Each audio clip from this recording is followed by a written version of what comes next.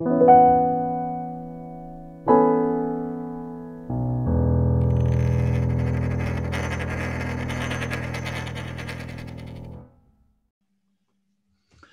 hier ist wieder Defi.jetzt äh, mit Mario und Ralf, äh, Ralf Knobloch.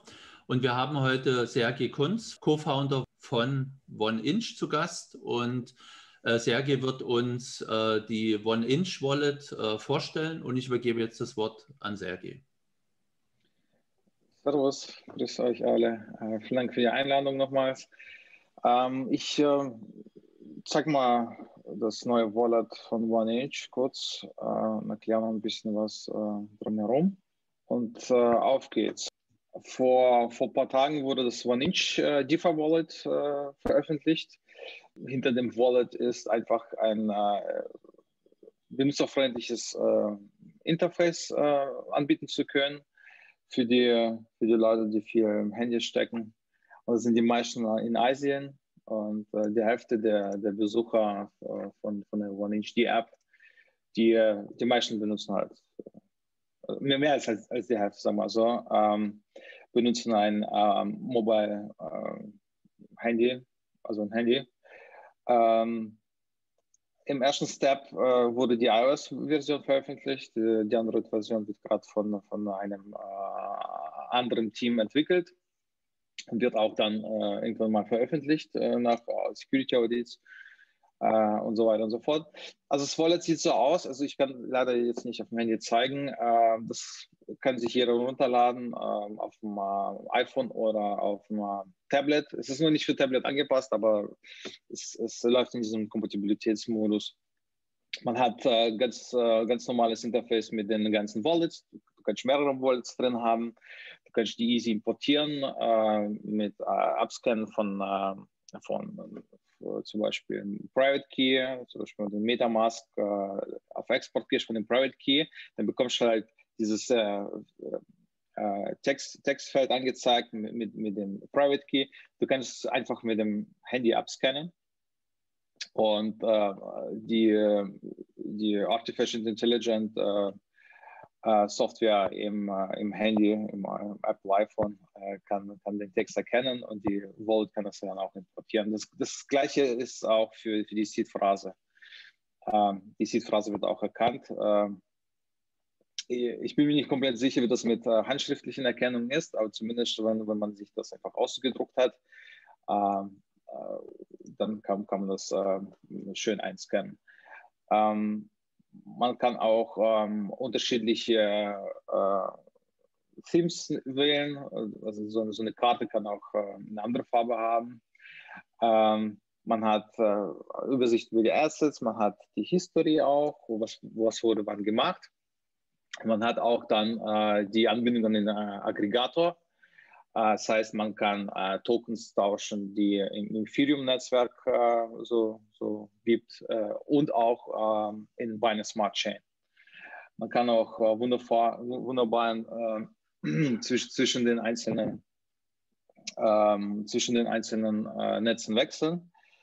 Ähm, vielleicht vielleicht gibt es eine Möglichkeit, euch das mal auch live zu zeigen. Ich muss mal gerade gucken. Ähm, Vielleicht kann ich das doch hier über, über Zoom scheren. Noch mal eine Sekunde. So, ich versuche mal hier eine neue Wallet zu erstellen. Das gibt es jetzt aber jetzt erstmal nur im, im Apple-Universum sozusagen, also für iPads und iPhones. Genau. Okay. genau, genau. Plant ihr das auch für, äh, für Android-Nutzer? zu basteln? Wie, wie, wie, ich schon gesagt habe, da ist noch ein anderes Team, was, äh, was die Entwicklung gerade von Android Wallet macht.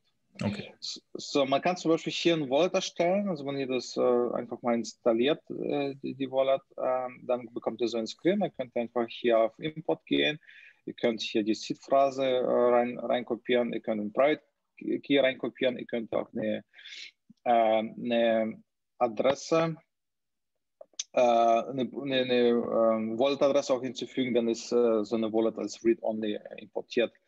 Ähm, es gibt noch diese Kamerafunktion äh, und dann kann man zum Beispiel dann, dann einscannen, ne? wie ich schon gesagt habe. Man kann dann zum Beispiel Private Key einscannen. Äh, ich erstelle mal jetzt mein neues Wallet. Notiert euch das bitte. ich ich werde ich werd da mal einen Drop machen. Spaß.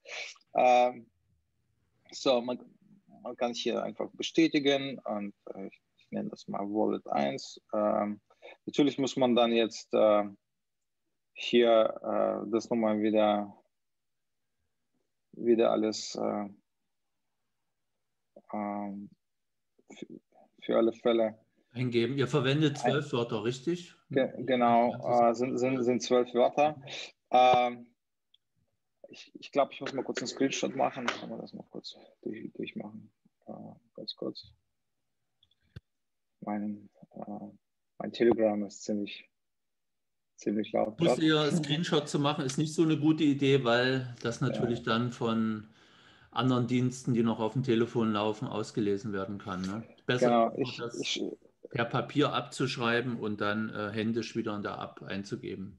Denn nochmal ja. für alle, die es noch nicht, also die sich damit noch nicht ganz beschäftigt haben, im Prinzip sind diese zwölf Worte, daraus wird der Private Key erstellt und mit dem Private, wer den Private Key hat, der hat auch Zugang zu eurer Wallet und damit zu eurem Geld. Also diese zwölf Worte solltet ihr so gut noch besser äh, beschützen als eure EC-Karte und den PIN. Und ich sage immer, das ist quasi die Banklizenz. Kann man, genau, gute Idee, ja. Was war schon wieder Bank, Banklizenz? Ja, diese zwölf Wörter, diese Mnemonic-Wörter, manche sagen auch Seed dazu, aber eigentlich ist die Mnemonic-Phrase. Diese zwölf Wörter sind deine Banklizenz, weil dadurch äh, oder daraus werden ja deine Kryptoadressen, deine privaten Schlüssel, der Marco sagt immer Private Keys dazu, äh, abgeleitet und äh, das sind ja deine, deine Handwerkszeuge, um unabhängig in der ähm, Kryptowelt agieren zu können, quasi ohne Bank als äh, selber als Bank, weil du hast ja die Verantwortung für deine Assets und wenn die weg sind, beziehungsweise wenn der Zugriff darauf weg ist, ist er weg. Genau. So, und deswegen mit diesen zwölf Wörtern in eurem Fall, bei anderen sind es halt 20 oder 24 Wörter, je nach äh, System, äh, kann man äh, mit jedem anderen Wallet, die das halt auch entsprechend unterstützt, kommt man da auf die gleichen äh, Adressen, Kryptoadressen und auf die gleichen privaten Schlüssel. Ja. Und für Testzwecke kann man schon durchaus mal so eine Kopie machen, aber für, für Wallets, äh, wo, wo wirklich dann hinterher Werte drauf gespeichert werden soll, sollte man das nicht tun. So, alles klar. Ähm, dann es weiter. Äh, so, was hatten wir? Gehen wir einfach mal sicher, dass äh, derjenige hier auch die Wörter aufgeschrieben hat. Was ich empfehlen kann, ist vielleicht ähm, bei eBay oder bei Amazon so eine, so eine Platte zu bestellen, wo man eingravieren kann. Das ist ziemlich cool. Ja, so, es sind ja. optische Hardware-Wallets, habe ich sie bezeichnet, wo du ähm, brandsicher, teilweise explosionssicher ähm, die die, äh, die Wörter speichern kannst. Und bei den Wörtern ist es so, dass nur die ersten vier, Stunden, äh, vier Buchstaben äh, notwendig sind. Der Rest äh, ist nur, damit wir es uns besser merken können. Kannst du äh, dort auch nur zwischen den Public Chains oder auch zwischen Test Chains auf dem Wallet wechseln? Denn normalerweise würde ja erst jeder mal ein bisschen rumtesten, also an, bei Ethereum, bei Gurley oder bei einer anderen Chain. Die Test-Chains unterstützen wir nicht, weil die äh, Aggregierung dort nicht funktioniert. Mhm. Äh, da sind nicht viele, also nicht alle DEXs sind äh, dort abgebildet. Und, mhm. wir sind aber dran, wir sind aber dran, das zu verbessern. Ähm, aktuell hast du Ethereum meine Smart Chain, ähm, also die, ja. die Mainnet. Ähm, ich werde mal jetzt auf diese Wallet, äh, werde ich jetzt mal ähm, hier in meiner Smart Chain werde ich jetzt mal was überweisen von einer anderen Wallet, damit wir hier ein bisschen Guthaben haben. Ich habe, glaube ich, letztes Mal auch gezeigt, dass wir da ein ähm, bisschen mal äh, getradet haben. Mhm. Ich, ich, ich zeige das nochmal kurz, das, das geht mal schnell. Bei einer Smart Chain. So, schicken wir mal zwei BNB rüber. Also wir sehen oben unter U-Wallets, wo du wahrscheinlich dem, der Wallet einen eigenen Namen geben kannst, sehen wir das äh, Netzwerk, in dem du unterwegs bist. BSC steht für Binance genau. Smart Chain. Du kannst auch zu Ethereum wechseln. So, mhm. wir, wo klickst du da drauf? Auf die auf die einfach auf BSC, ja. Mhm. So, äh, die Kohle geht raus. Ja, ist unterwegs. Ähm, dazu sagen für unsere Zuschauer, Hörer, also das, was du jetzt hier live überweist, kostet auch dein eigenes Geld. Das heißt, die Transaktionsgebühren, die hast du jetzt sozusagen verloren, nur um das zu zeigen. Ja, die sind ziemlich gering bei meiner Smart Chain. Ähm, jetzt habe ich was reinbekommen. Ich habe zwei im BNB überwiesen, das sind 1200 Dollar. Äh, ziemlich unglaublich, äh, wenn, man davon ausgeht, was es äh, irgendwie letztes Jahr gekostet hat, also ein BNB wir haben zum Beispiel die Investitionen von, äh, von Binance äh, bekommen. Äh, und ich glaube, wir haben das irgendwie äh, zu 19 Dollar veräußert oder so pro Coin. Hätten wir einfach gehalten. Hätten wir irgendwie zweite Runde nicht gebraucht.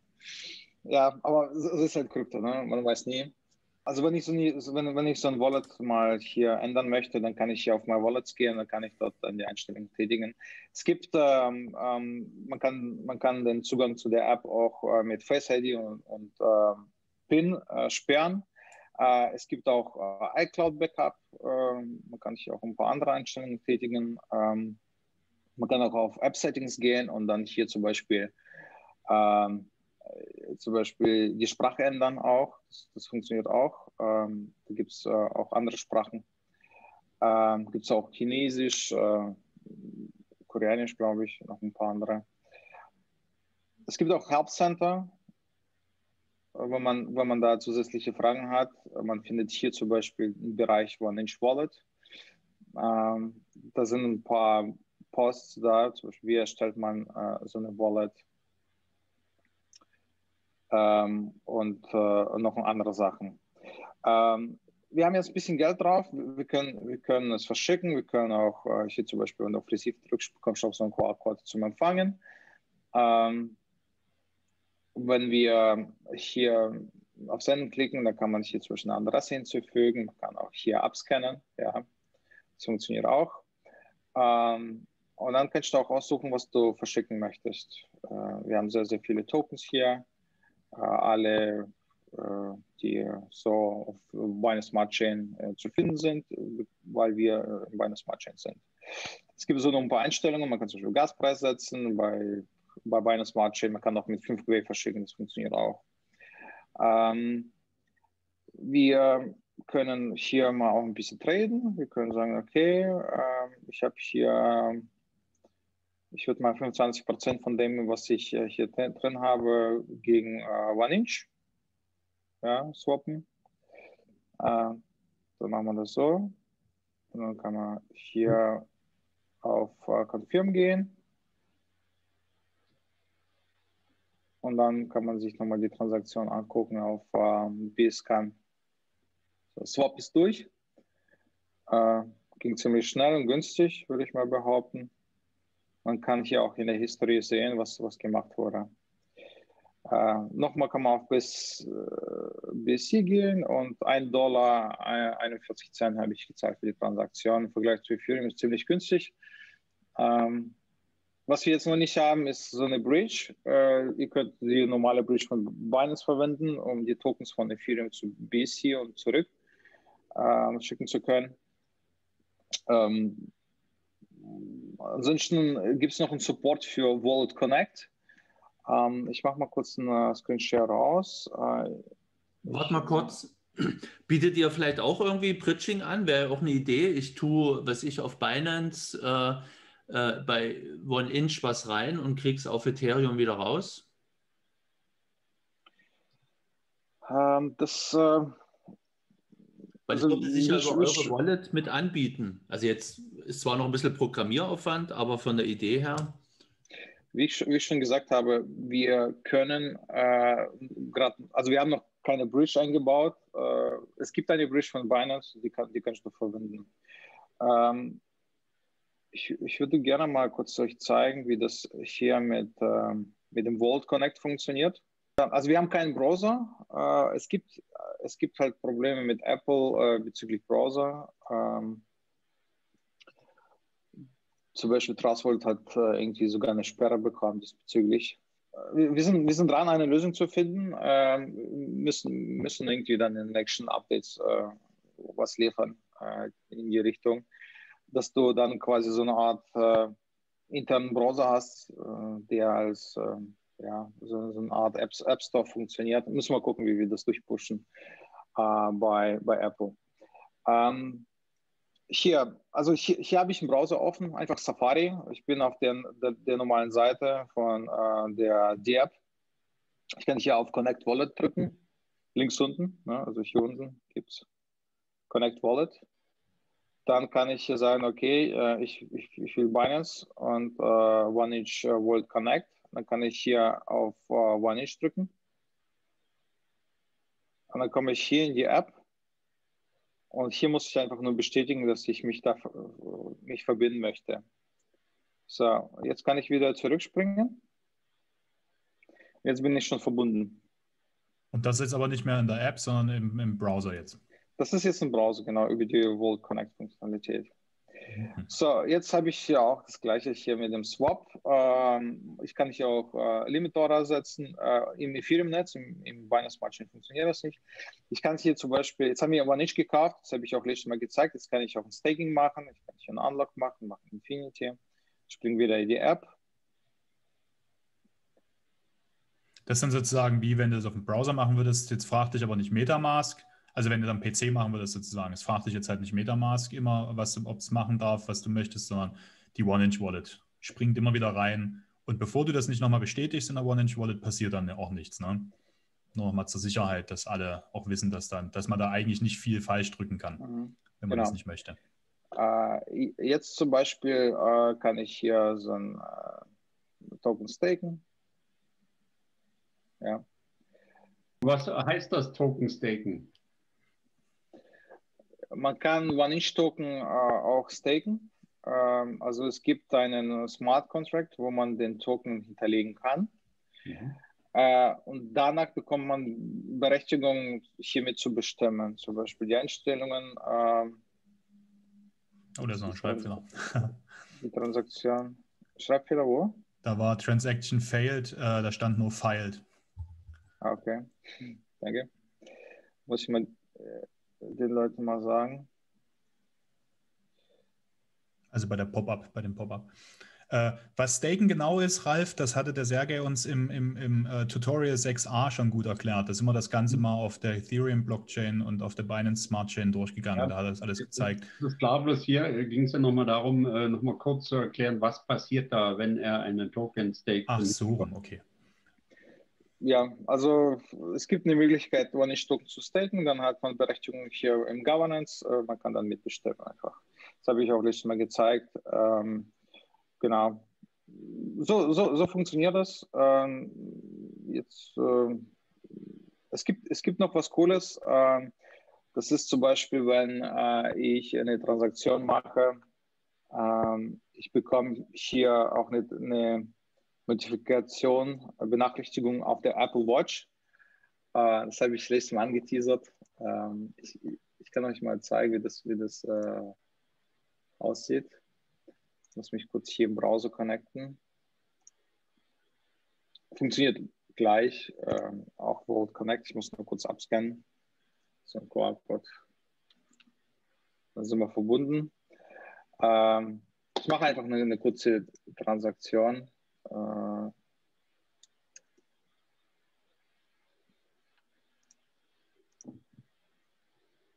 okay. Und los geht's. Es müsste hier auf die Apple Watch mal Benachrichtigung kommen.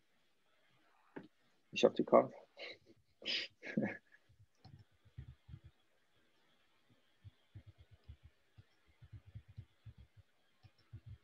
Das kann ein bisschen dauern.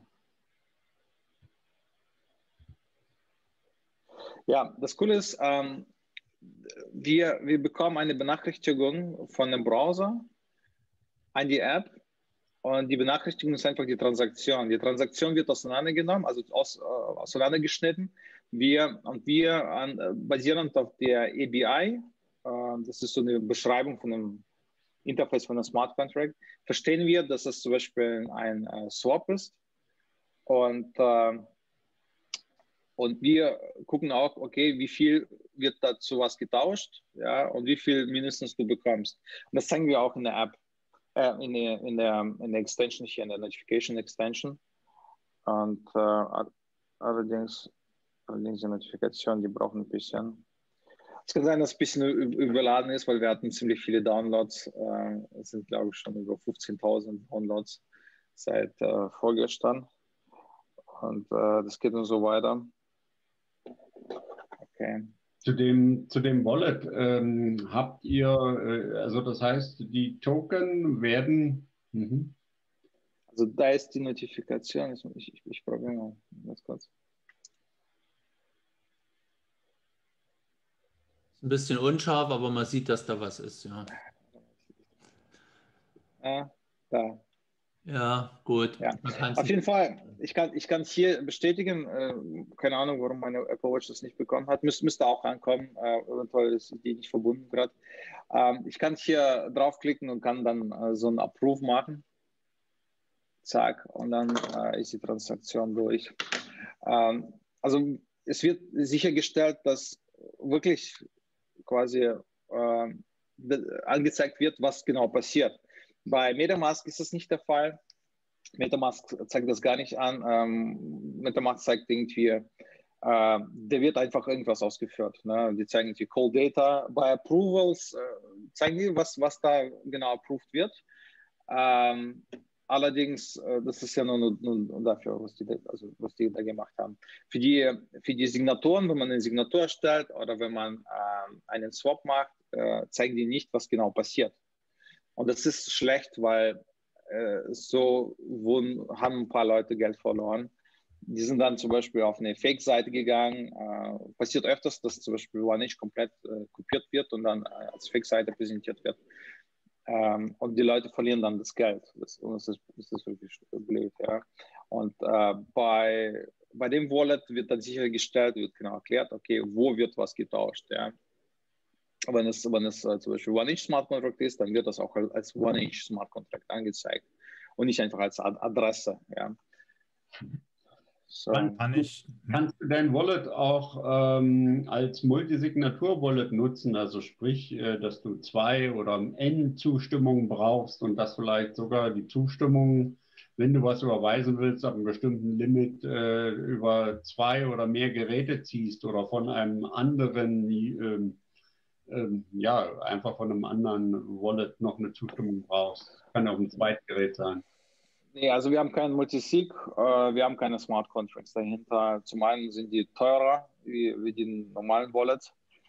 Ähm, wie sichern das, also das, das, das Wallet ist ziemlich abgesichert. Äh, prinzipiell äh, kann da wenig schief gehen. Auch wenn äh, jemand das Ding jailbreakt, äh, der kommt nicht an die Private Keys, die sind verschlüsselt mit dem, äh, mit dem äh, Secure Enclave Privatschlüssel, der dem Secure Enclave rumliegt. Und die Backups sind auch verschlüsselt. Also du kannst schon iCloud-Backup machen zum Beispiel. Ja, wenn du zum Beispiel jetzt auf einem anderen Handy, also wenn du ein Handy verlierst, dann kannst du von iCloud wiederherstellen mit deinem Passwort. So, ähm, kommen wir kurz zurück. Ihr seht mein Screen, oder? Genau. So, ähm, ja, wir sind im App, App Store, ihr könnt das äh, hier direkt runterladen. Kann ich, auch One, kann ich mit der One-Inch-Wallet auch Uniswap benutzen? Oder geht das, geht jetzt, also beziehungsweise, oder kann ich auch mit der andere, äh, also dieses, dieses Abfragen, die, die Sicherheit, dieses, dieses Bestätigen vor der Transaktion, wenn ich das im Browser mache, kann ich das auch auf anderen DeFi-Plattformen benutzen? Oder ist es nur also für One-Inch? Das, das Parsen der Cold Data funktioniert jetzt aktuell nur für One-Inch. Äh, weitere Plattformen kommen. Da muss ein bisschen, bisschen äh, nachprogrammiert werden. Äh, warum willst du denn Uniswap benutzen? Ja, Uniswap fiel mir nur als erstes ein. Stimmt, warum will ich Uniswap benutzen? Ich, äh, OneInch ist ja, ist ja günstiger. Aber äh, jetzt zum Beispiel, wenn ich jetzt dann weitergehen möchte und äh, bei was weiß ich. Es gibt dann auch alle möglichen anderen, äh, Furo-Kombo zum Beispiel, wenn ich dort eine, eine Transaktion mit zusammenbauen möchte oder so. Also einfach kann ich auch andere Web3-Schnittstellen äh, im DeFi-Space bestätigen damit. Du kannst dich über Vault Connect verbinden. Okay. Ja, einfach über Vault Connect, QR-Code abscannen und dann bist du schon verbunden. Da brauchst du kein Metamask. Das äh, Gefährliche bei Metamask ist, äh, also ich habe jetzt wieder vor kurzem äh, von einem der deutschen Investoren, äh, die in der ersten Runde mit dabei waren, ähm, die haben mich gefragt, ob ich da mal nachschauen kann. Ein, äh, ich glaube, Co-Founder äh, von ihm hat Geld verloren, weil er Private Key Metamask drin hatte. Ja, der Hacker hat irgendwie Zugriff auf, die, auf das Filesystem gehabt und äh, wo er dann quasi den Unlock gemacht hat von Metamask, ist er dann reingekommen. Äh, genau weiß ich nicht wie, aber trotzdem ist es halt gefährlich, ne? wenn du die Private Keys direkt auf dem, auf dem Rechner hast in deinem Browser. Und äh, es ist besser auf dem Handy zu haben, das ist ziemlich geschützt ne? und auch äh, super verschlüsselt, äh, auch mit, mit dem Secure Enclave Chip. Und ähm, es gibt mehr Sicherheit. Ja. Da wird diese Vault Connect Bridge verwendet, die ist aber ziemlich sicher. Äh, die, die, ist sicher, weil es wird dann äh, in beide Richtungen äh, verschlüsselt, äh, peer-to-peer. -peer. Ähm, ja, also, wir mal kurz. Mal, Alex, also Herr G., ähm, das heißt, ich könnte jetzt mit, mit eurer Wallet, könnte ich, könnte ich eigentlich Metamask äh, bei mir kicken vom Rechner und alles, was ich bisher dort verwalte, könnte ich mit eurer Wallet verwalten. Ja, genau. So, ich kann ja sowohl äh, private Schlüssel kann ich importieren, ich kann auch äh, Wörter, ich glaube Metamask verwendet auch nur zwölf, ne?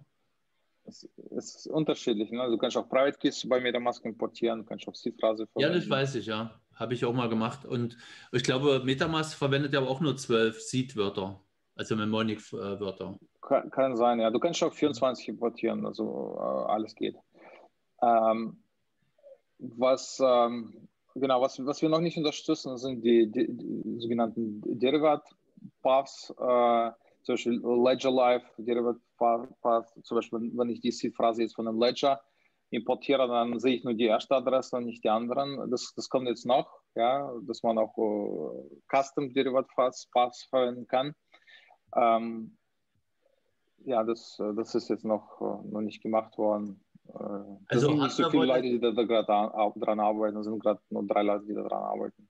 Hardware Wallets unterstützt ihr aktuell oder versucht ihr äh, Ledger äh, zu unterstützen, noch andere? Die, die Idee war ja, Ledger zu integrieren, allerdings die sind dann ziemlich schlecht dran, hier Open Source äh, den Code zu, zur Verfügung zu stellen, damit man das integrieren kann. Äh, also wir sind, wir sind im Gespräch mit Ledger. Ähm, äh, Tresor, das ist doch Tresor, oder? Ja. ja. Da, da, sind wir auch in Kontakt. bei denen ist es ein bisschen anders, wie es funktioniert. müssen, müssen wir auch gucken. Prinzipiell, meiner Meinung nach, ist es schon so sicher genug. Ja? Also auch wenn noch Jailbreak ist und jemand einfach dein Handy versucht zu, zu knacken, er kommt nicht an die Private Keys und Erklär mal kurz Shallow Projekt für die, die es nicht wissen. Du verwendest es jetzt schon zum wiederholten Mal. Ja, also es gibt eine Möglichkeit, dann quasi in das Betriebssystem von iOS äh, quasi sich äh, äh, ja, das Ding zu hacken und dann reinzukommen und dann vielleicht noch andere Apps zu installieren oder bestimmte Daten abzugreifen von den Apps, die schon drauf sind. Und ähm, ja, die sind, die sind verschlüsselt bei uns sind die verschlüsselt mit dem, äh, also bei dem iPhone gibt es diesen, diesen Chip, der die äh, kryptografischen Sachen übernimmt, zum Beispiel irgendwelche Sachen signieren kann, verschlüsseln kann, basierend auf den Private Keys, die in der Hardware, in dem Chip drin liegen und nicht rausgeholt werden können. Und diese, die, diese Funktionalität wird hier auch verwendet, um die Private Keys und Seed-Phrasen zu schützen auf dem Gerät.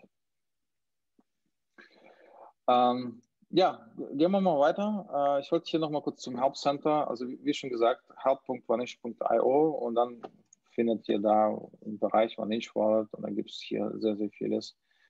Ähm, hier zum Beispiel Vault Connect, da wird äh, erklärt, wie so ein ähm, Vault Connect hier funktioniert. Da klickt man zum Beispiel auf Connect Wallet, also man sucht sich dann zum Beispiel Vault Connect aus und kann sich dann auch direkt äh, dran verbinden. In der, in der App gibt es dieses Icon zum Einscannen von dem QR-Code. Äh, dann kannst du easy easy dann den Webbrowser zu, zu deiner Wallet äh, verbinden. Genau, so sieht das aus. Ähm, also Notifications müssen noch eingeschaltet werden. Äh, hier Vault Connect zum Beispiel. Ähm, ich wollte noch mal kurz zu der Landing Page äh, mal gehen. Äh, es wurde mal hier so eine tolle Landing Page gemacht. Ähm, ganz kurz. So. Die Sprache wechseln. Okay.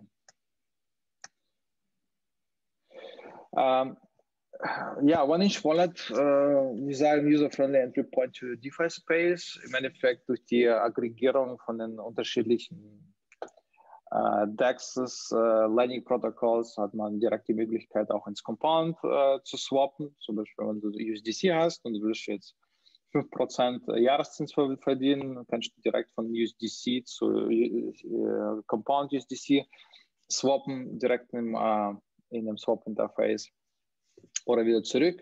Äh, oder du hast Ethereum du willst gerne zu USDC wechseln, CUSDC, das geht auch.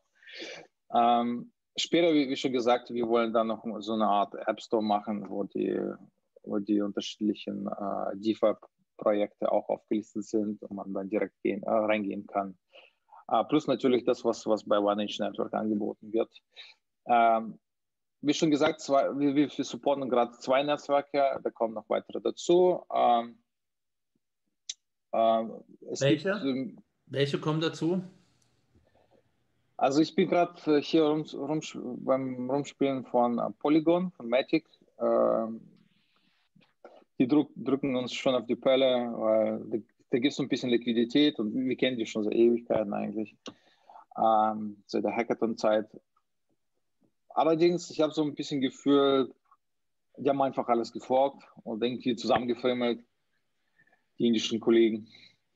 Ähm, allerdings da ist ein bisschen Geld drauf, äh, gerade auf der Chain und da gibt es eine Bridge. Äh, allerdings gab es heute wieder Kritik, dass da Multisig äh, dahinter steckt für die Bridge, zwei von drei und das, das ist blöd, würde ich mir behaupten. Die, die, wollen das irgendwie noch verbessern, wollen so öffentliche Personen äh, als äh, wenn ihr Formatik integriert, äh, werdet ihr dann auch äh, in euer Wallet eine Layer 2 Solution mit einbauen? Weil Formatik äh, arbeitet ja, glaube ich, auch an so Mystic, Optimistic Rollups.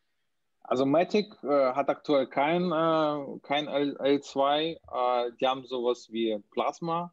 Mhm. was wir integrieren werden, ist wahrscheinlich einfach die Mainnet von denen, ist einfach ein Fork von, von GEF, von Ethereum. Ähm, Layer 2, was kommt, ist Optimism, sehr bald. Und da kommt auch ZK Sync. Äh, in ZK Sync haben wir investiert äh, und die sind besser wie Optimism, weil die, die sind sicherer. Ne? Bei Optimism, man geht so optimistisch voran und sagt, wenn jemand betrügt, dann kann man das hinterher nachweisen. Und die, die Auszahlungen aus dem Layer 2, die dauern eine Ewigkeit. Mhm. Bei äh, Sync sind die ähm, Proofs, äh, die Beweise sind schon da, ja, direkt bei der Ausführung. Und das ist halt der Unterschied. Ähm, ich, also die Jungs kennen wir ziemlich gut, sind auch Russen äh, und äh, die, die machen echt krasses Zeug. Die haben schon die erste Version von ZK Sync äh, da. Man kann die Tokens äh, hin und her schicken. Das ist sehr, sehr günstig. Ähm, die wollen bald Limit Orders auch äh, auf, auf, dem, auf der ersten Version rausbringen. Und irgendwann spät Sommer kommt noch äh, scheinbar Layer 2 von denen und das wird trocken. Warum? Weil äh, die Komposabilität ist gewährleistet, also die Möglichkeit, dass unterschiedliche Projekte äh, in den Layer 2 die Projekte äh, quasi deployen äh, und dass die miteinander auch noch sprechen können. Ne? das macht auch DeFi aus, ne? dass, dass einzelne äh, diese Money Legos, sagt, sagt man, äh, dass die untereinander auch äh, quasi sich mit untereinander kommunizieren können und auch voneinander profitieren können. Vantage Aggregation Protocol ist nichts anderes wie einfach ein Produkt on top of von, von den äh, existierenden Produkten, ja, also existierenden äh, Protokolls wie Uniswap und so weiter und so fort.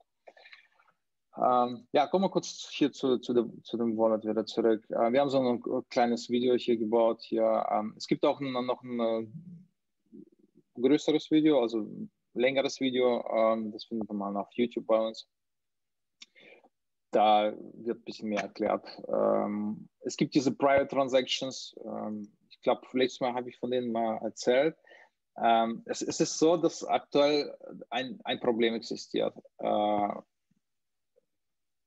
das, das Problem ist, dass äh, Leute, die, also es gibt Frontrunner, die normale Menschen, die hier bei Uniswap zum Beispiel Swap machen, auch bei uns, wenn die, wenn die Trades über Uniswap gehen oder Balancer oder Curve, dass die äh, quasi mit Sandwich Frontrunning Attacks angegriffen werden. Das heißt, dass jemand vor dir tauscht und nach dir tauscht also vor dir reingeht und nach dir rausgeht und dann irgendwie ein bis, bis drei Prozent äh, Gewinn macht. Äh, dagegen ist äh, unser One-Inch-Liquidity-Protokoll geschützt. Wir haben so Virtual Balance eingeführt. Davon hat Vitalik mal 2017 gesprochen. Uh, allerdings hat irgendwie nicht jeder geschnallt, dass es uh, cooles, cooles Zeug ist. Und uh, die sind, sind trotzdem Uniswap, bei Uniswap und swappen bei Uniswap, obwohl die die ganze Zeit Geld verlieren.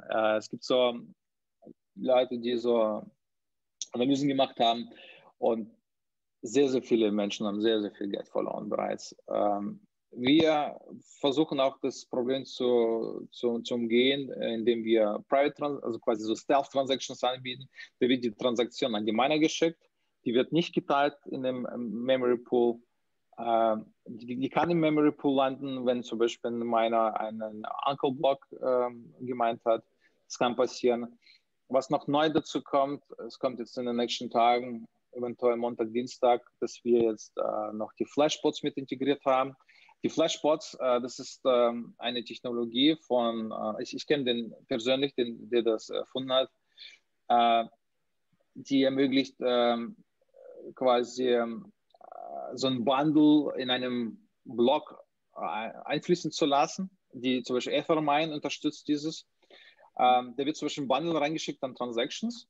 Äh, zum Beispiel ein Frontrunner sieht eine Transaktion, die lukrativ für ihn ist, wenn er vorhin, also wo, wo er Sandwich Attack machen kann.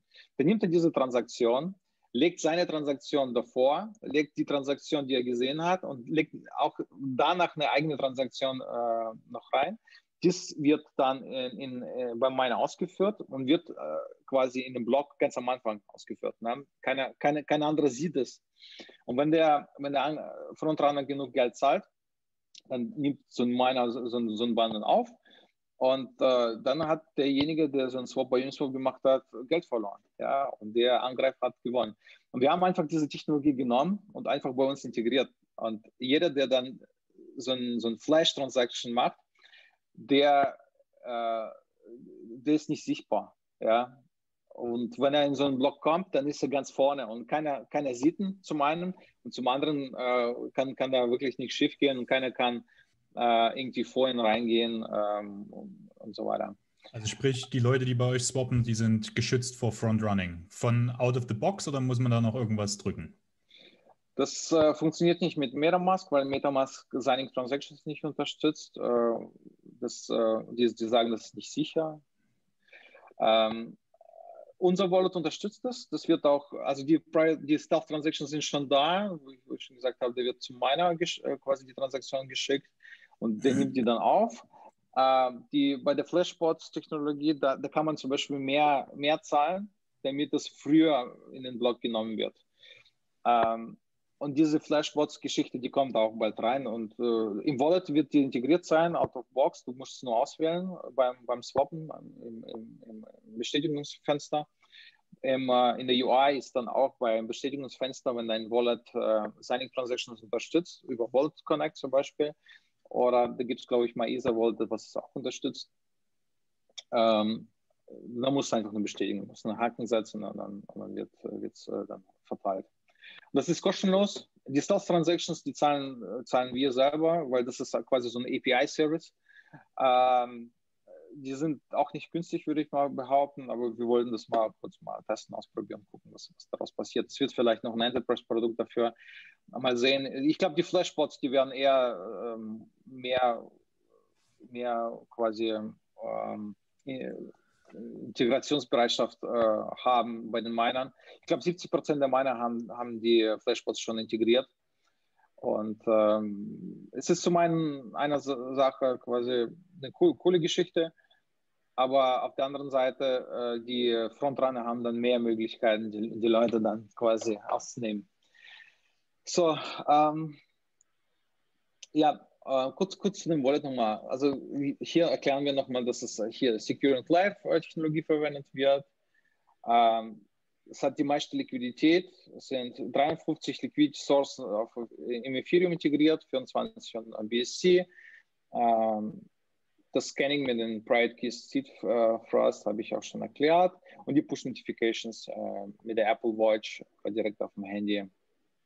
Das ist auch eine coole Geschichte. Vault Connect, äh, wie bereits erklärt. iCloud Backup. Ähm, ja. Android coming soon. Habt ihr Fragen? Erstmal nicht, nö.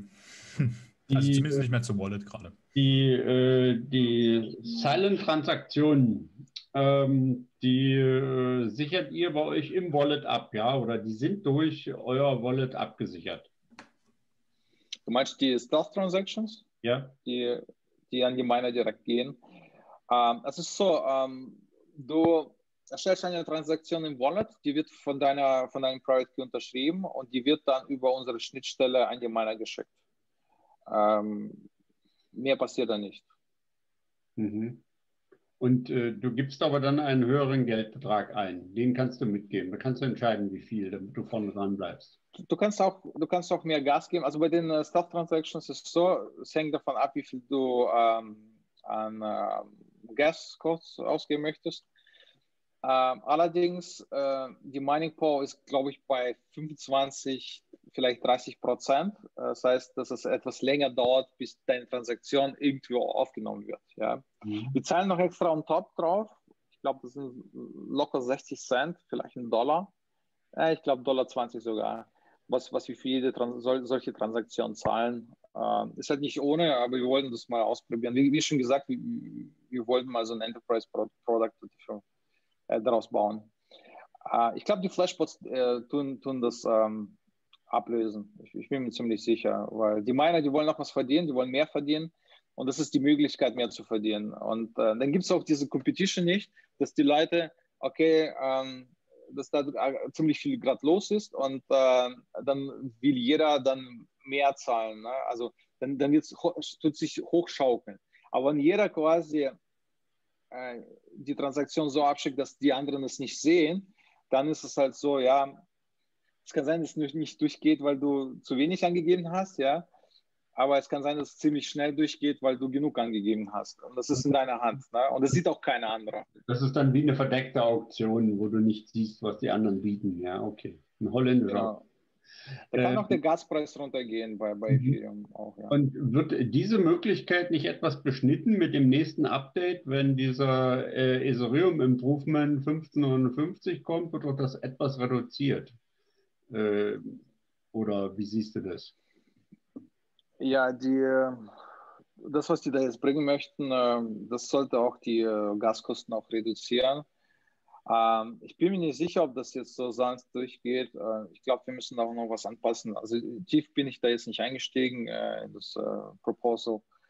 Ähm, ja, wenn es, wenn es was bringt, dann ist es okay. Jetzt nach dem, nach dem letzten Hardfork hat auch was gebracht. Die haben jetzt die Preise äh, für die äh, bestimmte Befehle auch äh, neu strukturiert und jetzt ist es günstiger geworden. Manche Geschichten sind teurer geworden, äh, aber im Endeffekt Gaspreis ist wieder runtergegangen, das ist gut.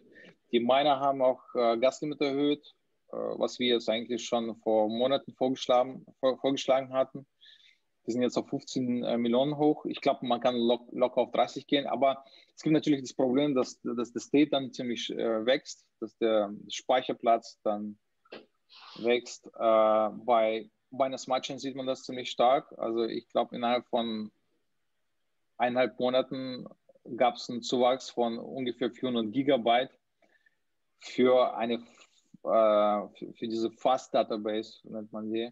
Also nicht äh, Full Node, äh, wo man äh, alle States hat, sondern nur, nur, nur quasi mit der Information, mit den Proofs und dann vielleicht noch die letzten irgendwie 100 Blocks. Ähm, und das ist halt krass. Wir, wir haben auch Full Nodes, BSC Full Nodes, äh, die haben öfters mal Probleme. Das Chain äh, reorganisiert sich sehr oft. Äh, wir hatten jetzt noch das Glück, dass wir noch die E-Notes bekommen haben, direkt von, von Binance.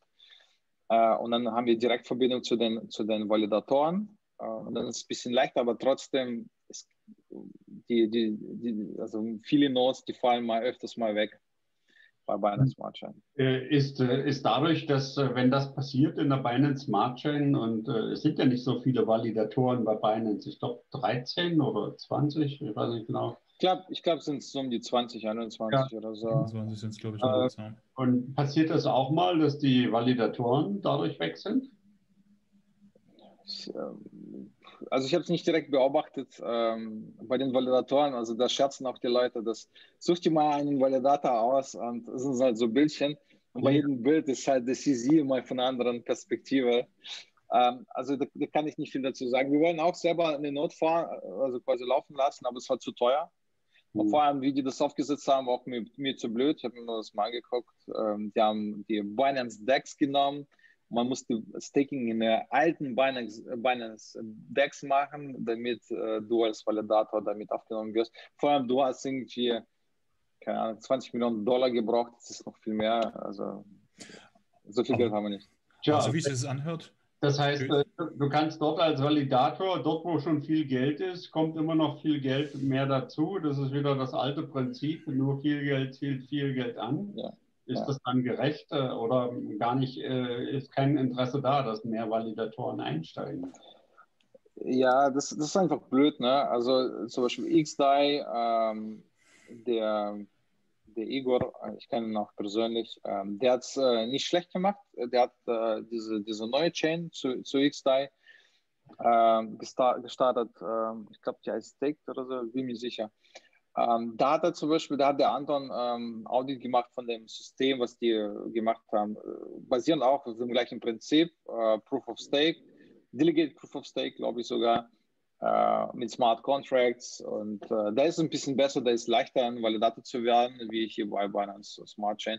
Äh, natürlich ist, äh, ist es nicht, nicht, nicht gut, wenn da irgendwie nur große Spieler da mitmachen, aber ich glaube, kein Normalsterblicher kann sich hier im Wohnzimmer eine gute Glasfaseranbindung leisten, plus ähm, genug Speicher und genug CPU. Also die, die Full Node, die braucht schon einiges. Also wir haben hier ein ähm, AMD mit 32 Cores, 120, 128 GB RAM und äh, sehr viele SSDs in, im RAID, damit das überhaupt läuft. Äh, wir betreiben, also meine Firma, wo ich arbeite, auch eine Archive-Node, äh, sogar also das dickste vom Dicken äh, in Ethereum und äh, das ist schon heftig, ja. Okay.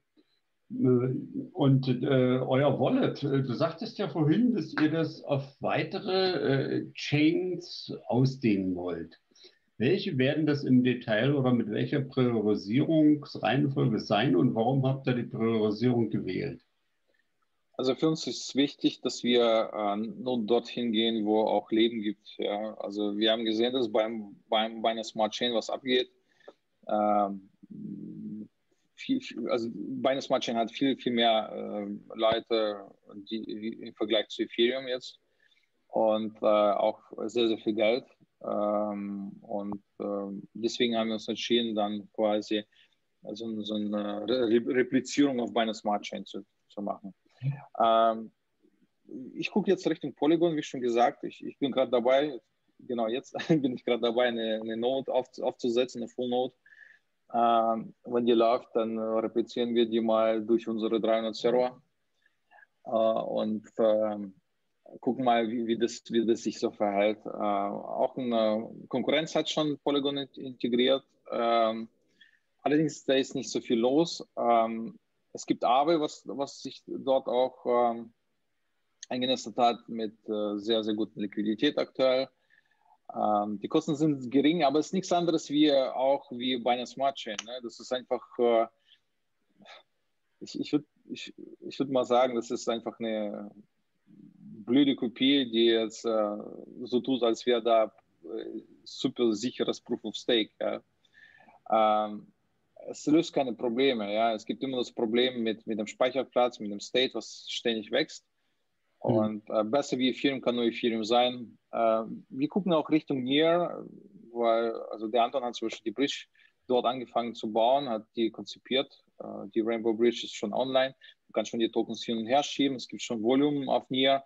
Allerdings müssen wir dann auf Rust umschreiben. Das ist ein zusätzliches Aufwand für uns. Die Jungs haben noch, immer noch nicht hinbekommen, das äh, so zu machen, dass man auch Smart, also Ethereum Smart Contracts deployen kann.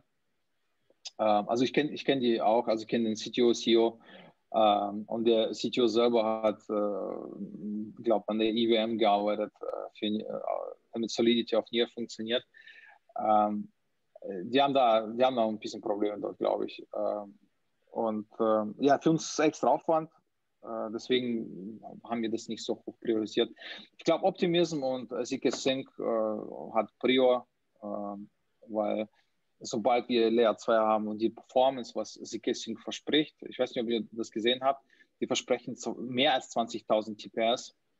Das ist äh, übelst viel und das, das kann sein, dass äh, man schon dann richtig wie auf den zentralisierten, fast wie auf zentralisierten Börsen dann auch auf Layer 2 treten kann, äh, Limit Order setzen kann. Also wir, wir liefern bald ein Limit Order Protokoll äh, mit äh, Stop Loss und äh, quasi so ein Stop Limit ähm, Feature und auch ähm, Trailing Stop. Äh, das ist auch möglich. Äh, wir sind gerade dran ne, zu gucken, wie wir das jetzt äh, liefern.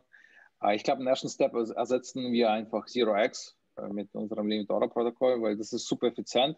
Auch für die Market Makers, die, die quasi per RFQ arbeiten, per quasi abgefragt, kannst du mir dieses Rate geben.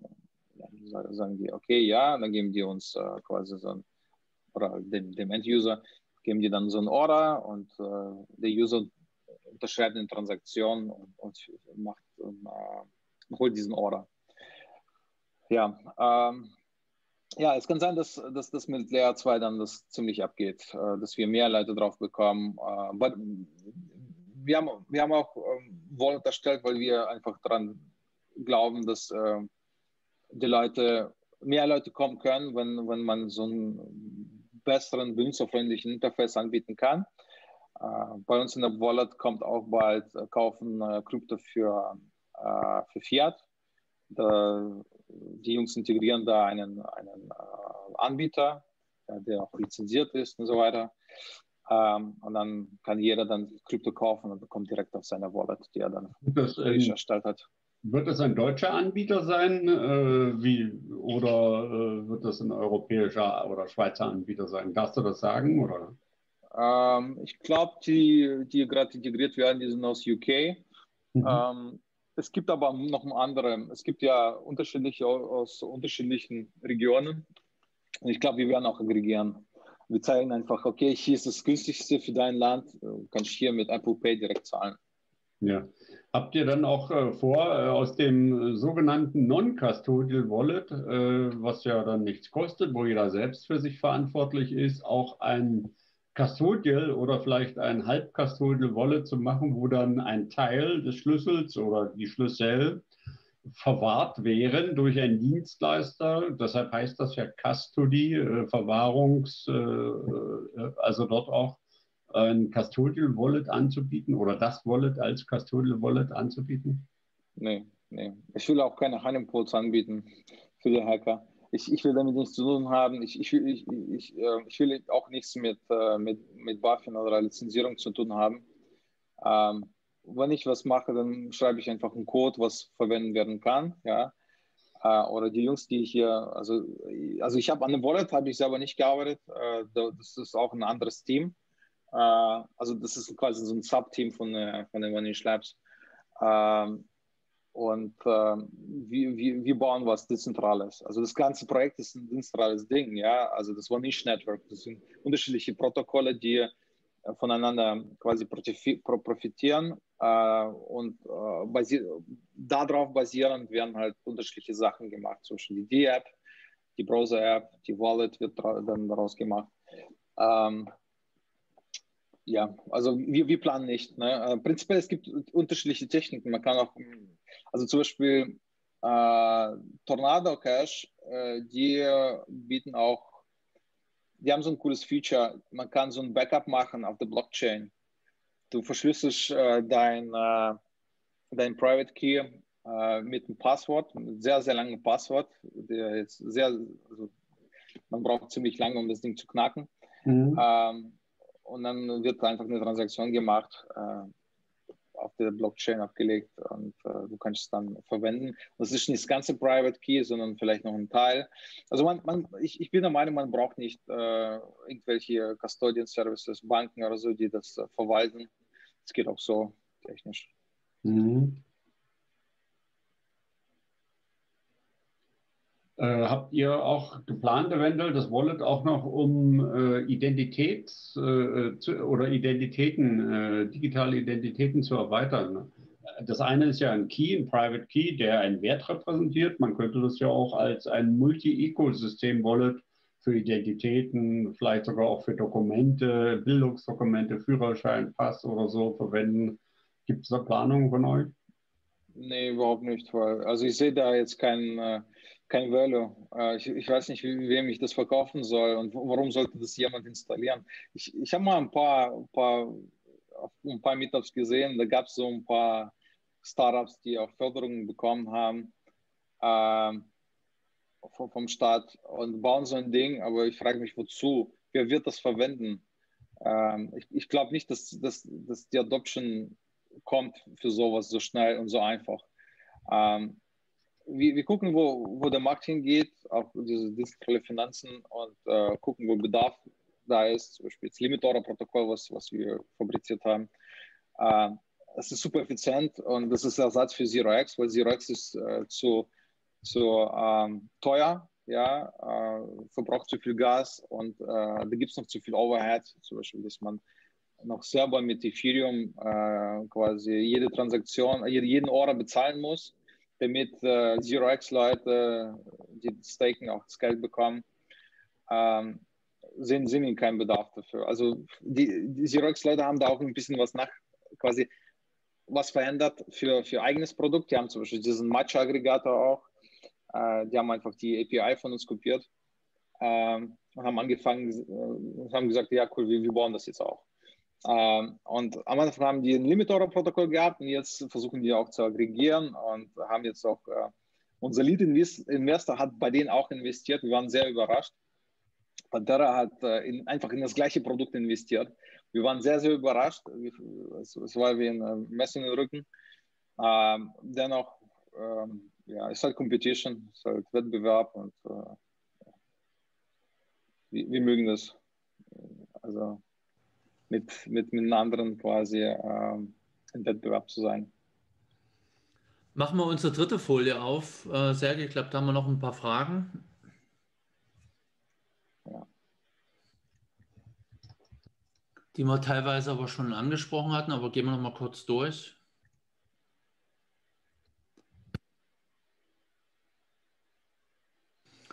Genau, du hast ja gesagt, ähm, äh, wo guckt er nochmal? Was war es? Ähm, Polygon oder so? Ja, wir gucken gerade in die Richtung, mhm. so, so, solange Optimismus noch nicht ready ist. Ähm, Wie sieht es mit Polkadot und Solana aus? Gut, Polkadot hat auch mit uns mal gesprochen. Ähm, allerdings, ich sehe jetzt keinen kein Hype darum. Ich sehe sehr viele Teams, äh, was äh, für Polkadot auf Polkadot ähm, dran zu entwickeln. Allerdings, äh, ihr wisst schon, wie es funktioniert. Ne? Polka Foundation, Polkadot Foundation geht hin und, und Geld, vergibt Geld, ja? also verteilt Geld, damit jemand darauf baut. Und das ist künstlich erschaffene äh, Development Community, meiner Meinung nach. Mhm. Solana die äh, klingeln bei uns öfters mal und ähm, äh, der äh, Alameda von, äh, von FTX, der ist dort auch ein Investor und äh, er fragt die ganze Zeit auch nach, ob wir da jetzt mal was machen. Ich, ich sehe da jetzt auch keinen Bedarf. Ähm, da ist was los, aber nie, ich, ich glaube, das ist kein Leben. Das ist alles, alles künstlich. Ja.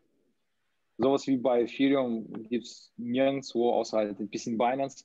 Aber Binance ist auch schon ein bisschen künstlich, meiner Meinung nach. Äh, da wurde auch, wurden auch ein paar Sachen gemacht, äh, die jetzt nicht wirklich von den Leuten kamen. Die Leute benutzen es aktuell, weil es günstig ist.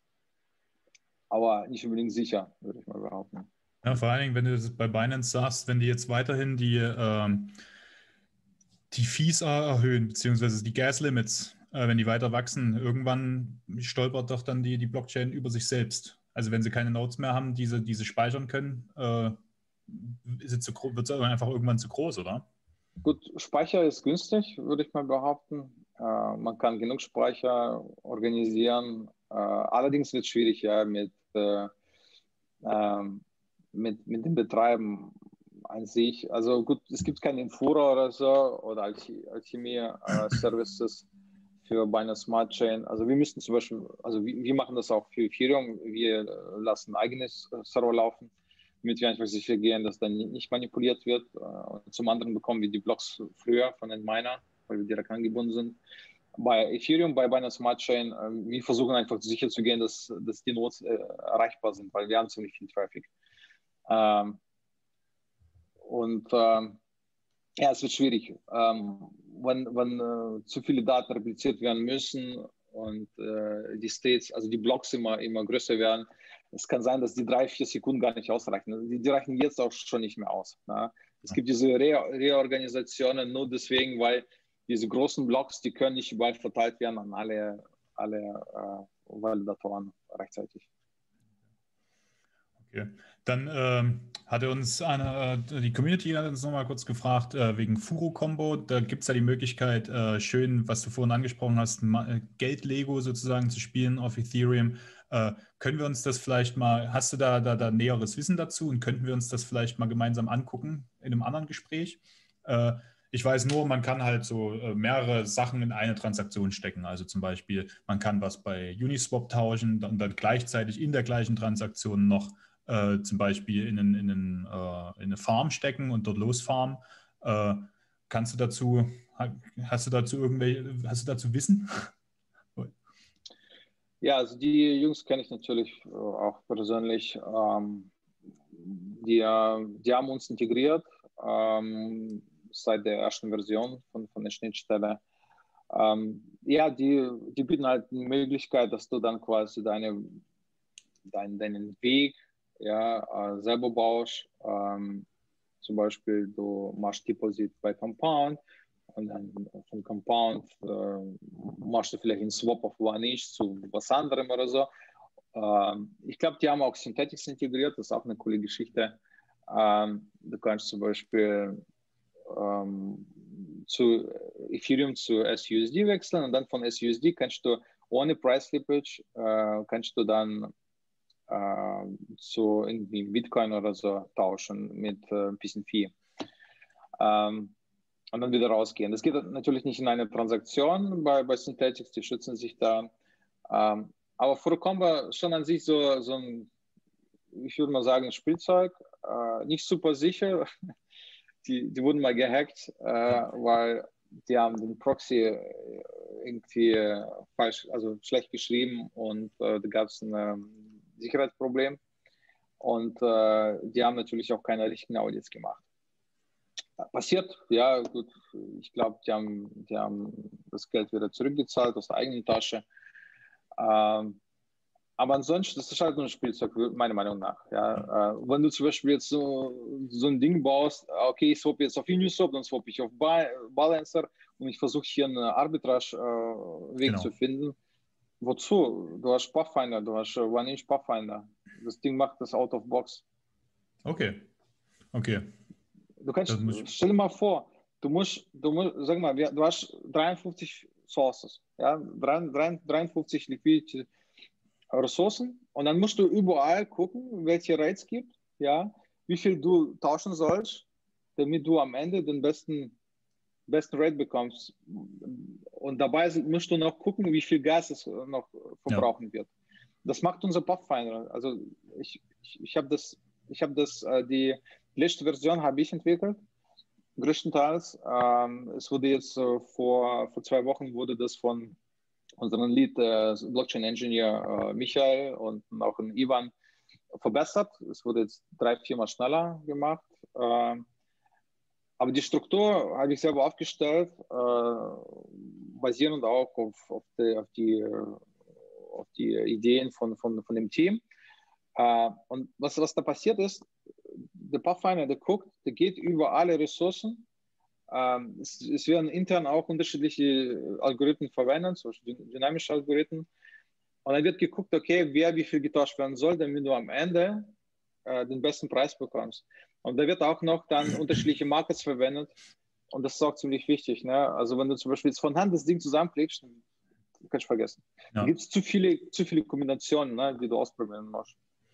Da komme ich gleich nochmal zu, zu der nächsten Frage. Letztens äh, habe ich einen, einen sogenannten, also in, in, im, im Ethereum äh, Gebiet heißt das Shitcoin sozusagen. Da habe ich einen Shitcoin gefunden, den wollte ich bei euch swappen und hatte auf meiner Wallet hatte ich Ethereum und noch einen zweiten äh, äh, Coin, den ich eigentlich gerne verkaufen wollte. Und ich wollte eigentlich Ethereum und den zweiten Coin zusammen gegen den, gegen den, gegen meinen Lieblingscoin da, da tauschen und habe keine richtige Möglichkeit außer halt dieses Furo-Kombo gefunden, die mir das erlaubt. Und da wollte ich fragen, ob es nicht sowas auch bei euch möglich wäre, dass ich mehrere, sozusagen mehrere Inputs bekomme und vielleicht sogar auch mehrere Outputs und vielleicht sogar noch sagen kann, schick mir den Output bitte noch an diese Adresse. Also so, ich könnte mir vorstellen, da gibt es bestimmt ein anderes Gate-Lego dafür, aber vor allem das mit den mehreren Inputs, das würde mich mal interessieren, ob das in eurer Logik möglich wäre.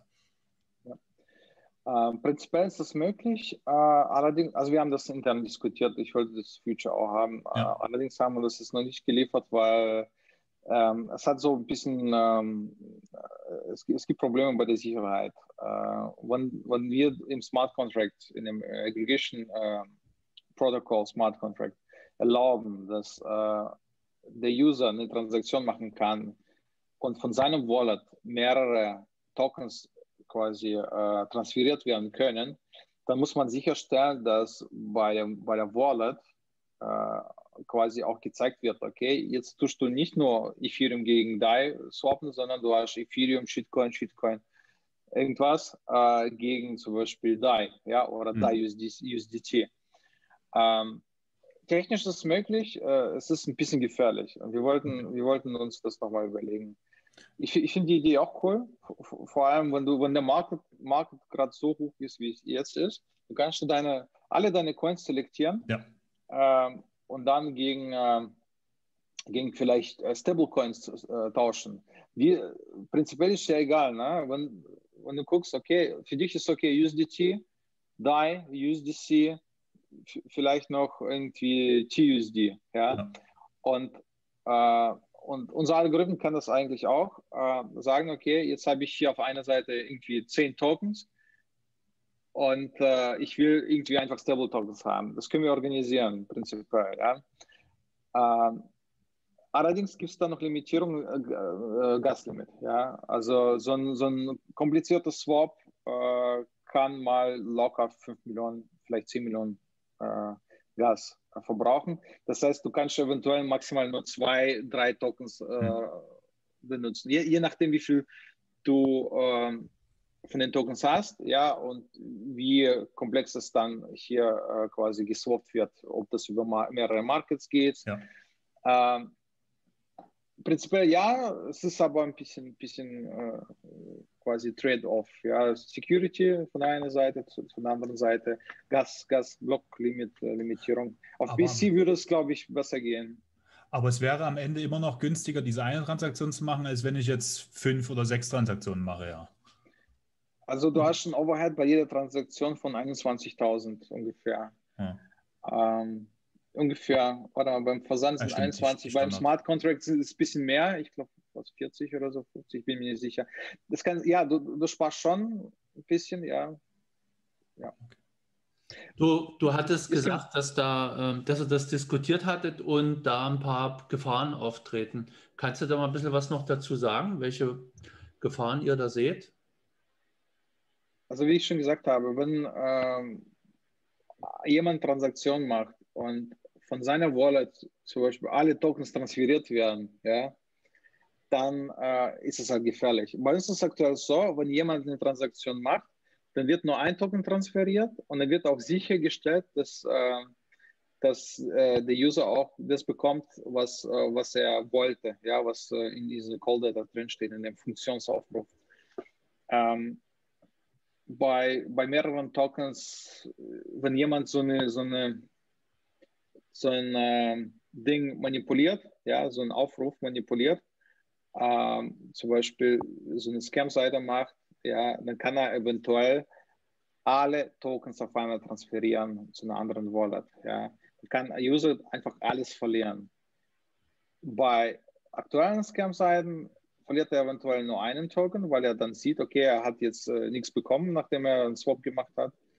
Das, äh, also ich, ich sehe das äh, öfters mal hier, ähm, dass, dass da irgendwie wieder mal Scam-Seiten erstellt werden. Sogar Google erlaubt also macht so, erlaubt Ads, so Werbung für Scam-Seiten. Ja, also die, der Anton, der, der, der, der hat jetzt äh, Anwälte engagiert, äh, die jetzt Google mal auseinandernehmen, weil die das erlauben. Ähm, ja, das, das ist dieser, dieser Aspekt, dass, dass man mit manipulierten Transaktionen von dem Vanish Liquidity Protocol, äh, Aggregation Protokoll dann den kompletten Wallet äh, quasi leer machen kann. Wäre jetzt also eure, eure, Entschuldigung, äh, wäre eure ähm, Wallet jetzt die Möglichkeit, diese Sicherheit zu geben, dann sozusagen? Weil du vorhin gesagt hast, man sieht dann nicht so richtig, was geswappt wird, aber bei eurer Wallet kriegt man das ja vorher alles jetzt ordentlich angezeigt, wenn ich das richtig in deiner Erklärung vorhin entnommen habe. Genau, also jetzt zeigen wir an, was genau getauscht wird, von was zu was, wie viel du da mindestens bekommst. Äh, ähm, prinzipiell, wenn wir so einen Smart Contract bauen würden für, für diesen Multiswap, dann äh, würden wir das auch supporten. Ja. Es ist einfach nur Call Data parsen und dann weiß ich, zeigen, was, was genau passiert. Okay. Es gibt ja im Prinzip zwei Stufen. Es gibt einmal so einen Swap N zu 1 oder N zu M. Und ich denke mal, N zu 1 ist ein bisschen sicherer und äh, wenn, die, wenn ihr die Wallet habt, kann man ja da noch irgendwie Zwei-Faktor-Authentifizierungsmäßig irgendwas noch mit einbauen. 1 zu N wäre sicherer, also wie N zu 1. Ja? Also wenn du ein Token gegen, gegen viele andere tauscht, dann können wir prüfen, okay, ein Token wird transferiert mhm. und so und so viele Tokens hast du dann auf dem, auf dem Wallet Balance äh, zum Schluss. Ja, dann fang doch vielleicht erstmal mit N zu, äh, 1 zu N an und ich meine, klar, der, der Mario, ich auch. Also mich wird halt äh, N zu 1 interessieren. Also das ja, ich verstehe schon, dass, dass, dass man mal Shitcoins verkauft, ja. Ja, ja klar. die ganzen, die ganzen Shitcoin-Dust mal von der Wallet wegbekriegt und gegen was Besseres swappen kann. Ja. Es gibt ja auf der Binance äh, zentralen Börse gibt es ja diese, diese Möglichkeit, äh, diese, diesen Dust, also diese kleinen Werte äh, in BNB zu tauschen. Und äh, das Ding würde ich dann halt auch in irgendwas tauschen, wenn es halt nur One-Inch-Token ist. Also ich, ich sage dazu immer Valhalla-Assets, äh, weil das sind entweder äh, Token, die vielleicht irgendwann in Zukunft, keiner weiß wann, mal einen Wert bekommen, aber momentan haben sie halt wenig Wert. Und wenn, wenn du deine Adressen mal ein bisschen aufräumen willst und nicht so viel äh, Kleinkram drauf hast, äh, und ab und zu kriege ich mal so einen Rappel, äh, wäre das schon nicht schlecht, dass ich dann sage, okay, diese, diese, diese und die tausche ich jetzt von mir aus in One Inch oder in DAI oder in ETH oder was auch immer. Oh, es klingt gut, dass er erstmal schon drüber nachdenkt. Da freue ich mich drauf, wenn das Feature kommt.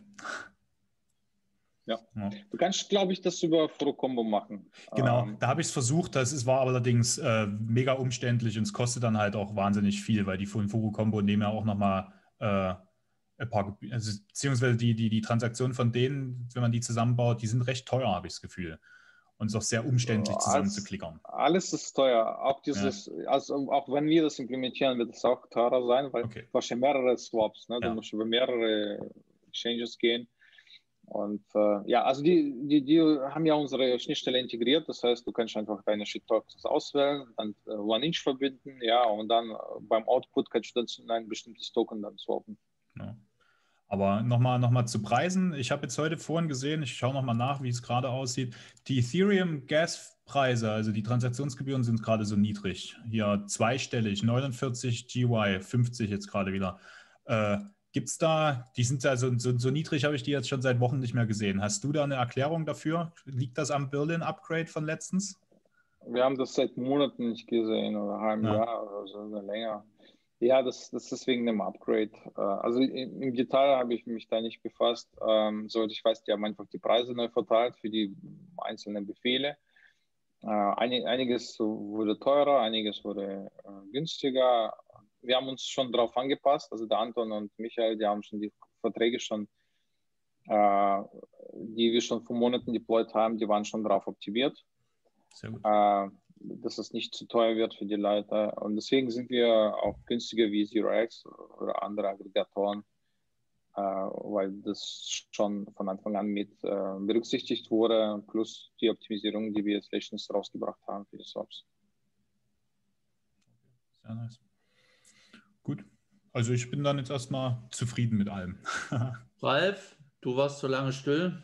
Ja, äh, das, die technischen Dinge, die wurden jetzt alle erklärt und äh, ich habe da auch nichts weiter, äh, keine weiteren Fragen, weil müsste man dann äh, wahrscheinlich in einem sehr technischen Umfeld alles mal durchsprechen. Ich, ich würde gerne noch ein bisschen werben. Äh, die One Inch Foundation sucht äh, Leute, Firmen, also Teams, die gerne da bei One Inch Network, hier, One Inch Network, mitmachen würden. Ähm, so, so, wie wir als Independent äh, Core Contribution Team äh, kann, kann jedes Startup hier mitmachen. Mhm. Äh, aktuell sind zwei, zwei Startups in, in der Pipeline. Eins wird mit, äh, mit dezentralem Storage sich befassen. Das andere Team äh, arbeitet an dezentralen äh, ETF, quasi so eine Art Index. Ähm, und jeder, der eine coole Idee hat und hier beitragen möchte, kann äh, sich bewerben bei der Foundation. Ähm, ich persönlich habe mit denen nichts zu tun. Äh, ich habe keine direkte Verbindung zu denen. Ähm, das ist ein Independent äh, Board, was äh, den Token erstellt hat und äh, einen äh, Budget hat, quasi ein Budget zum Verteilen von den Money-Token. Und die Idee ist von der Foundation auch, die Firmen Teams, Startups äh, quasi zu quasi zu finanzieren mit One-Inch-Token, damit die auch für One-Inch-Network was äh, produzieren. Äh, jeder, der hier mitprogrammieren möchte und auf GitHub gibt es äh, die Smart Contracts, jeder kann zum Beispiel bei einem Liquidity-Protokoll mitmachen, wo man eine coole Idee hat für eine neue Formel oder einen neuen Ansatz für ähm, bessere Effizienz, äh, dann kann jeder quasi so eine Bewerbung abgeben, äh, Pull Request machen und dafür dann vielleicht so 10, 20, 30, 40, 50.000 Dollar, 100.000 Dollar in Vanilletoken bekommen. Das, das, das ist alles möglich. Ähm, ja, äh, und One Inch Labs sucht auch ähm, Angestellte, ähm, falls jemand Lust hat, remote zu arbeiten, äh, Software Developer, Community Manager, Agile Coach, ähm, Product, Agile Product Owner, Marketingmensch, äh, alles wird hier gebraucht. Gibt es denn zu dieser One Inch Foundation eine Webadresse, wo man das alles nochmal im Detail nachlesen kann? Ja, natürlich. Äh, es gibt die One Inch IO, das ist so ein, äh, ich schau mal kurz. Das wurde jetzt vor, ich glaube, vor einigen Wochen veröffentlicht.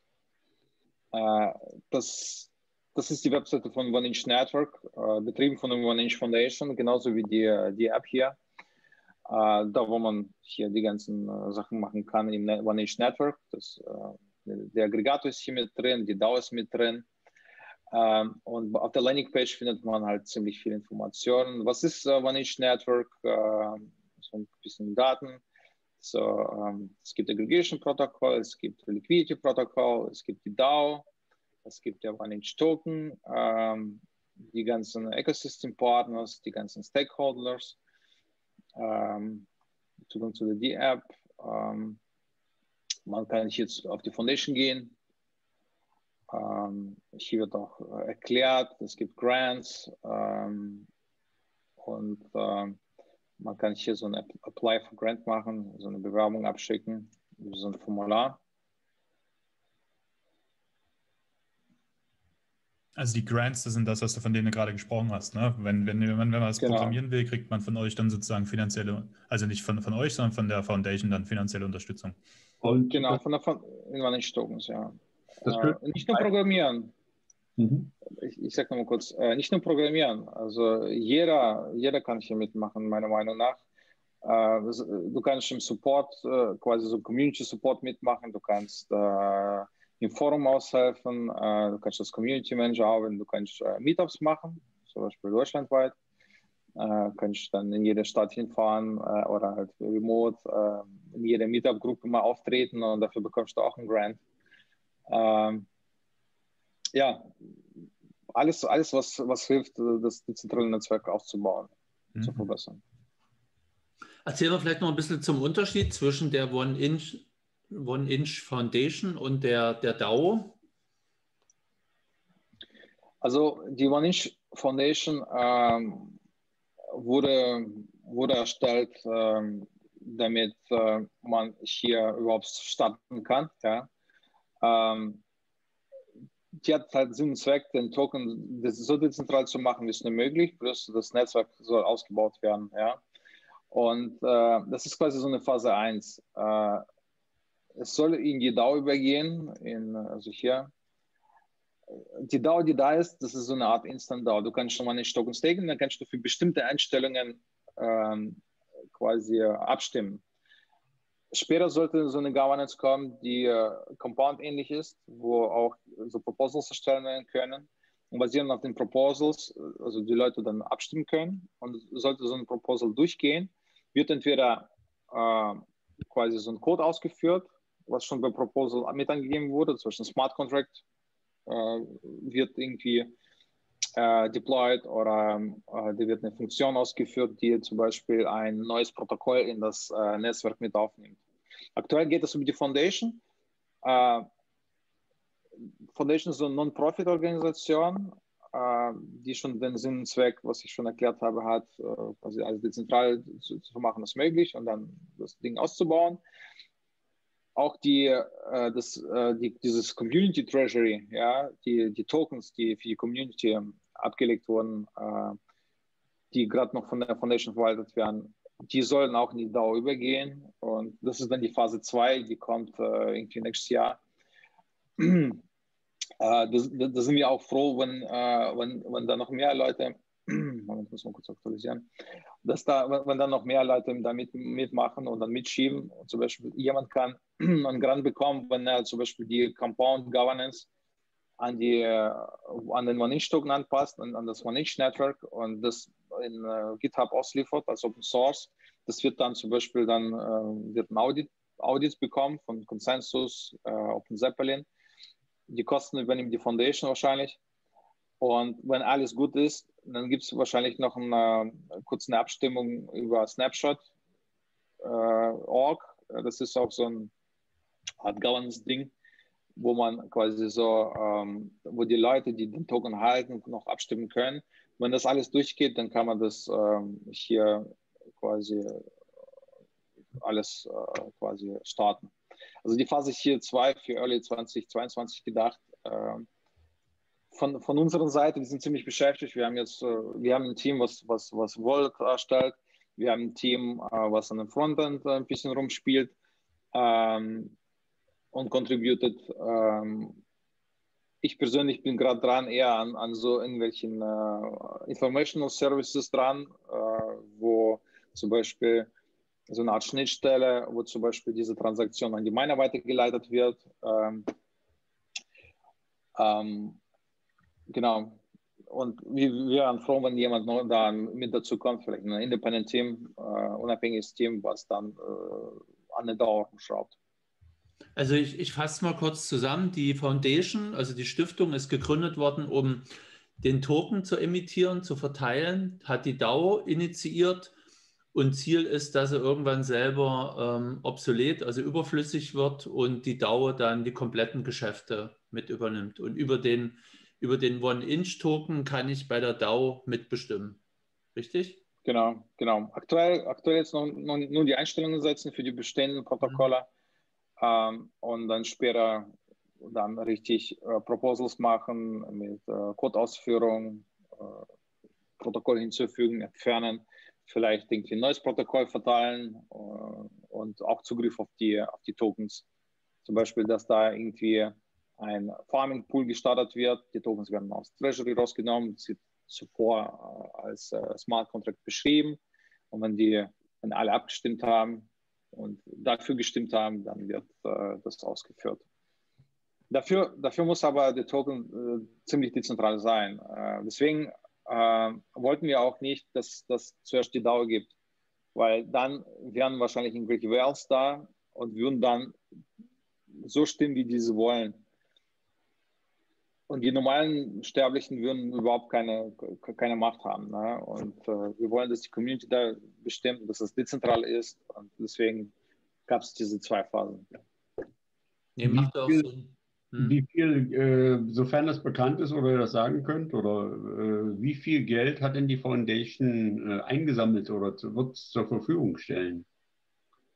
Die, ähm, die Foundation hat äh, Zugriff auf 30 äh, Prozent der Tokens, die für die Community äh, abgesetzt wurden. Lass mal kurz.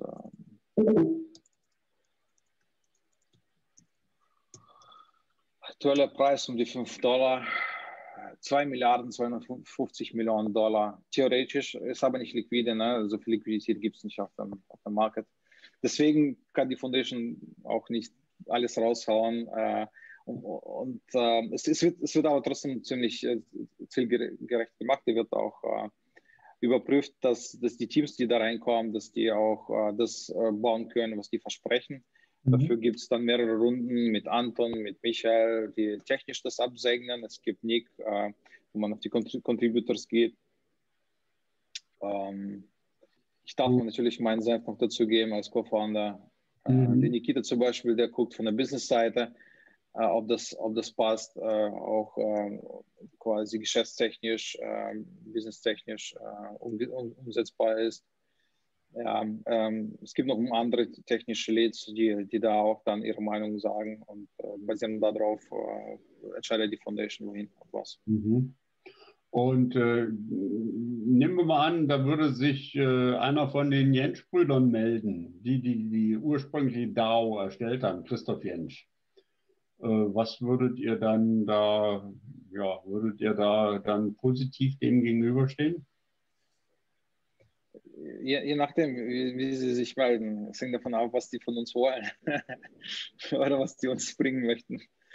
Also wir sind über jede Hilfe dankbar. Äh, also es gibt sehr, sehr viel zu tun. Also ich, also ich persönlich schlafe manchmal nur drei, vier Stunden am Tag und arbeite eigentlich ziemlich, ziemlich äh, die Woche durch, äh, verbringe meine Zeit mit meiner Tochter. Und sonstige Zeit sitze ich hier und hacke rum je mehr, je mehr Leute da mit, mitmachen, desto, desto besser ist. Äh, es geht ja um, um dezentrales Netzwerk, dezentrale Systeme, Protokolle, ja, und je mehr Leute da mitmachen, desto besser ist es. Mhm. Du hattest noch da äh, auf der letzten Seite äh, was mit DAP, also dezentrale Applikationen, was gezeigt. Ähm, das, da versteht ihr eure Protokolle drunter, also die Softwareprodukte und die Wallet auch, ne? Also es ist so, ähm, diese One-Inch-Tab, äh, das ist der, der Zugang zu, zu den Protokollen von dem One-Inch-Network. Da ist äh, Aggregation-Protokoll drin, da ist Liquidity-Protokoll drin. Also man kann zum Beispiel im Liquidity-Protokoll dann Liquidität zur Verfügung stellen, man kann beim Farming mit, mitmachen, das habe ich letztes Mal erklärt gehabt. Ähm, man hat äh, die DAO, also man kann in der DAO dann Staking machen. Also es ist einfach äh, eine benutzerfreundliche Implementierung für für die Normalsterblichen. Man könnte natürlich direkt mit den Smart Contracts interagieren, äh, aber ja, man braucht halt so ein User Interface, würde ich mal behaupten. Und die Wallet an sich, äh, Wallet ist Wallet, ne? also quasi Crypto Wallet Funktionalität ist drin. Zusätzlich ist da auch der Aggregator, also Aggregation Protokoll mit implementiert. Das heißt, die DAP rufe ich dann im Browser auf. Ja. Okay. Wenn man jetzt nehmen wir an, es gibt interessierte Leute, die viel äh, auf Kommunikation stehen und äh, vielleicht von Red Hat kommen und dort auch schon Community Manager waren. Äh, was schätzt du, was könnte man da so als Community Manager, wenn man sich in eure Dienste stellt, was könnte man da so naja, verlangen oder bekommen? Es ist äh, individuell. Ähm, also es gibt keine fixe Liste, soweit ich weiß, äh, wo äh, so und so viel soll dann Community Manager bekommen, weil ähm, das Ding ist halt dezentral ausgelegt und auf die ganze Welt. Wenn jemand aus Afrika kommt, dann will er wahrscheinlich weniger wie äh, ein US-amerikanischer Community Manager äh, oder ein deutscher Community Manager. Und äh, klar will er wahrscheinlich viel verdienen, aber basierend auf, auf, auf, auf dem, wo er, aus, aus, aus, dem Land, wo er kommt, äh, braucht er wahrscheinlich weniger. Und da wird halt individuell verhandelt. Ja. Ähm, irgendwie jeden 10.000 Dollar zu zahlen, ist, glaube ich, auch blöd. Ähm, vor allem, das wird in Money-Tokens äh, ausgegeben und diejenigen, die Money-Tokens bekommen, werden wahrscheinlich auch den Money-Token dann irgendwie am Markt verkaufen. Ähm, im, äh, Im ersten Step kümmern, kümmern, wir uns eigentlich gar nicht dran, was, was auf dem quasi Secondary-Markt passiert. Also Coinbase hat uns gelistet. Ich wurde auf, äh, zu einem Podcast eingeladen, so ein, so ein US-amerikanischer Blogger hat, mich, hat, hat mir gratuliert und meinte, was, was denke ich dazu? Dann habe ich dem gesagt, I don't care. Äh, äh, ich, äh, auf gut Deutsch, ich scheiß drauf, was das für einen Preis hat, wann ich Token ist, ist genau wann ich Token, nicht mehr und nicht weniger. Und da gibt es kein finanzielles äh, quasi Value dahinter. Ähm, ja, wenn du, wenn du dich selber bewerben möchtest, dann gerne. ähm, kannst du dann angeben, was, was du verdienen möchtest, äh, wie viel Zeit du da aufbringen kannst und äh, dann gibt es dann in die wahrscheinlich Interviewrunden. Mhm, okay. No, ich habe vielleicht einen Interessenten, ja. Genau, also deutsche Community ist auch cool ähm, oder englische auch. Ähm, also viel, viel, ist es hier in englischer Sprache. Wir gucken, äh, wir versuchen auch mehrere Leute aus unterschiedlichen Ländern an, anzuwerben hier. Also, falls sich jemand bewerben will, äh, die, du schickst mir noch die, die Links, äh, die pack, packen wir dann neben dem Post, äh, neben, das, neben dem Podcast.